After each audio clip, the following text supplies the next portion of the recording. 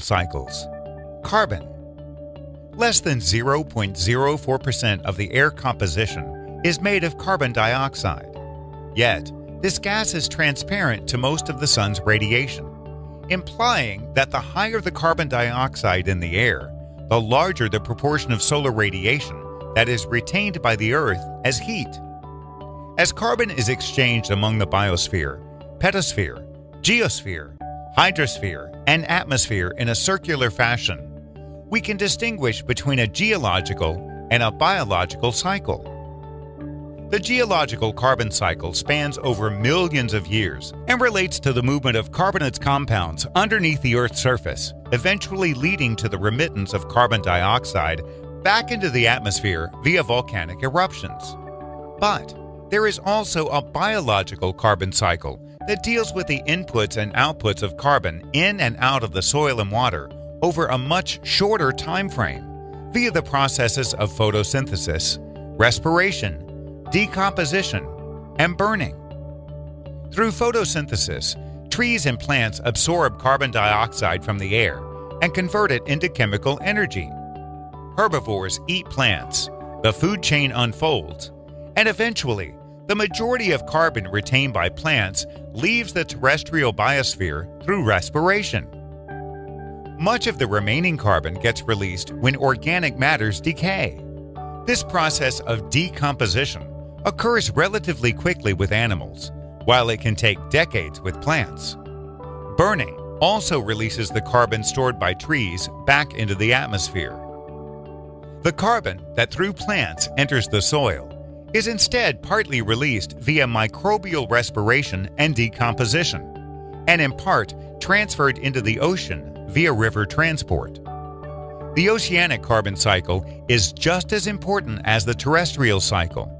It follows similar processes by which carbon dioxide is absorbed by organisms and converted via photosynthesis into organic carbon. It is then either exchanged throughout the food chain before being released via respiration and decomposition, or it is precipitated into the ocean's deeper layers. Carbon released to the atmosphere is greater in regions of oceanic upwelling, where dense, cooler, and nutrient rich water is brought to the surface, replacing the warmer, usually nutrient depleted surface water. In addition to the natural flows of carbon, anthropogenic activities are also releasing carbon dioxide into the atmosphere, causing levels to rise faster than ever recorded. The burning of fossil fuels is responsible for approximately 80% of total carbon dioxide emissions. Industrial combustion processes and commercial electricity use account for 7.7 billion tons of emissions per year. Transportation contributes with an additional 6.6 billion tons. Electricity and heat consumption in residential precincts add another 5.6 billion tons. The remaining 20% derives from the indirect impact of anthropogenic land changes. The removal of forests releases carbon in the atmosphere and decreases the biosphere's ability to reabsorb it. An estimated 2.8 billion tons of carbon dioxide are added every year due to deforestation practices. Agricultural land use contributes 2.1 billion tons per year. Factory farming, counting nearly 65 billion animals worldwide, contributes to greenhouse gas pollution mainly via methane and nitrous oxide emissions. Its contribution to carbon dioxide, estimated at around 1 billion tons, is mostly a consequence of animals' feeding requirement for more agricultural space. When municipal solid waste is incinerated, carbon dioxide gets released.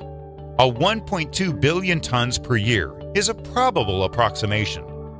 If the waste is destined for landfill sites, it eventually breaks down naturally, letting methane escape into the atmosphere with even worse environmental implications. The rise in atmospheric carbon dioxide is causing global climatic changes and consequences that already affect our lives today and carry potentially destructive consequences that will last tens of thousands of years.